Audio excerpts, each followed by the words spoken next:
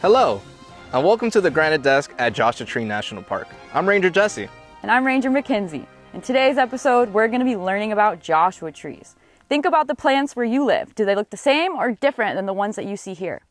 I bet they look different unless you also live in the desert. The plants here are unique because they have to find a way to adapt to this hot and dry environment. In the 1930s, a woman named Minerva Hoyt wanted to form a park to help protect these unusual plants because she was worried they might be destroyed by people. The park ended up being named after just one, the Joshua tree, but there are over 750 species of plants that grow here. I see plenty around here, but not 750. I see shrubs, I see cacti. The pointy plant behind me is the Mojave yucca. Don't see any Joshua trees though.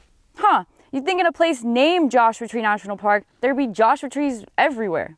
Hmm, I wonder why they don't grow here at the desk. Let's meet Ranger Simone who will teach us more about Joshua trees and how they survive in the desert.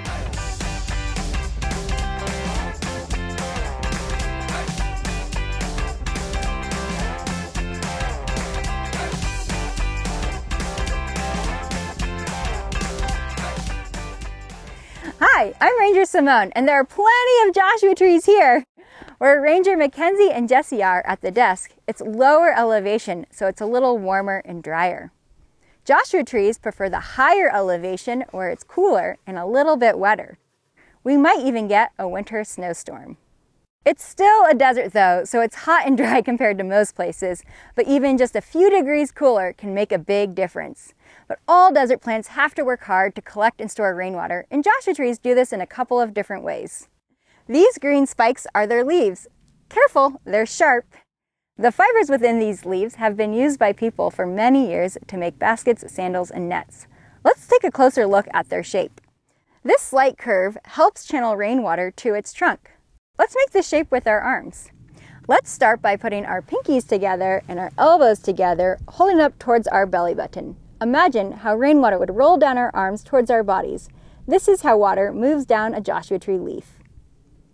And what do Joshua trees do with all this water they collect?